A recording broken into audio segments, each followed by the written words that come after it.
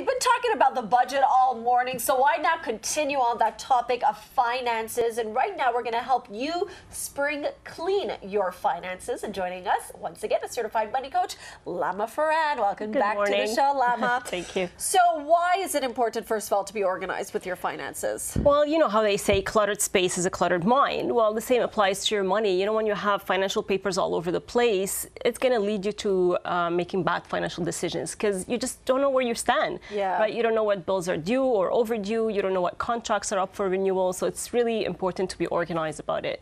Okay, so you have some very uh, key points, tips on how to get organized. So let's begin. And the first step you say is to have a dedicated money corner.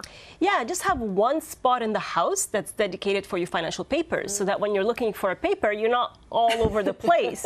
and that money corner doesn't have to be a whole room. It could be, uh, you know, like a drawer.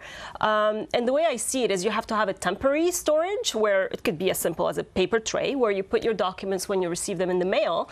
And it's the documents basically that are going to need your attention in the next few days. Yeah. And then once you deal with them, you put them in a storage box and that's it. They filed. Okay. Your second tip is to minimize. I you don't even want to look in my wallet right now because it can't even close because I have too many receipts in there. Yeah. Well, that's why I, I recommend spending 10, 15 minutes a week in your money corner and emptying your wallet, going through your bills. But the way to really minimize the amount of paper is, of course, sign up for electronic statements Yeah. for everything your bills, your uh, tax receipts, everything. And the other thing is shred any papers that you already have. You know, like tax returns, we tend to hold on to those forever. How long should we hold on to them? Seven years. So anything before 2009, you can just discard. And Okay. I'm going to emphasize the word shred, not put in the garbage or uh, in the recycling bin, just for identity fraud issues. What if you right? tear it up in a, in a hundred pieces? Yeah, I prefer shredding. Okay.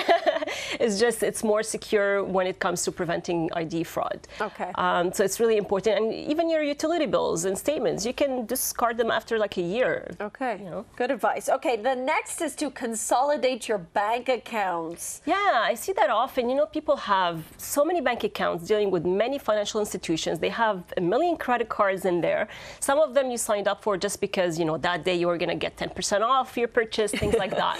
So I really recommend going through your bank accounts. If anything doesn't serve a purpose, just close it. And especially when it comes to investments, you know, I see a lot people have a small amount here, small amounts there. Yeah. How do you keep Just track? consolidate them in Yeah. one financial institution. Okay. And last but not least, calculate your net worth. Yeah, I mean, the reason I asked to calculate uh, the net worth, it's because the exercise itself is going to force you to get organized. Yeah. so your net worth is really your financial weight. So how much do you weigh today? Um, so How do you do that? So it's basically the total sum of everything that you have, you know, all your assets, minus everything that you owe, meaning your debt, your mortgages, your credit card. So, and it's a good idea to do it because it's going to force you to dig up the up-to-date balances for all these things. Yeah. And uh, you know, doing it once a year is a good time, and then you can compare yourself to the number to what it was the year before to see your progress. Okay. Well, some very good advice here today. Thank, you so you. much, Lama Farran.